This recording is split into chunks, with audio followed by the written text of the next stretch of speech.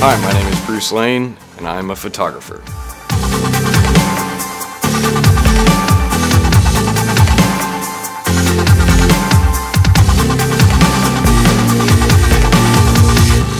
I've been shooting for about, geez, um, started when I was like 11 or 12, and then uh, took a break on that, and it called me back until uh, a couple years ago, and then I started really getting into it um, heavily, and uh, I don't know, it's just been been uh, keeping at it.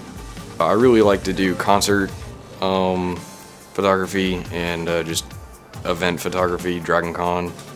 I mainly shoot with film, and uh, I try to keep that alive. Um, I um, I do some of my own um, developing in a darkroom in my basement. Um, my dad and my brother helped me out with that.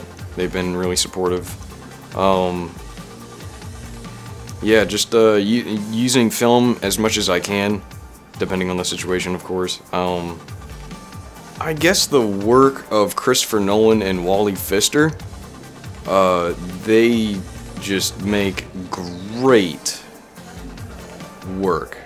Their movies are just magnificent. Um, uh, my dad's work is excellent. Uh, he kind of uh, just like nudged me in this direction uh, way back when. Um, yeah, yeah, they're all their work is just great. It, uh, it really drives me to do uh, do this. You can find more of my work and about me at www.rawartist.org forward slash you'll get the picture. My name is Bruce Lane and I am a raw artist.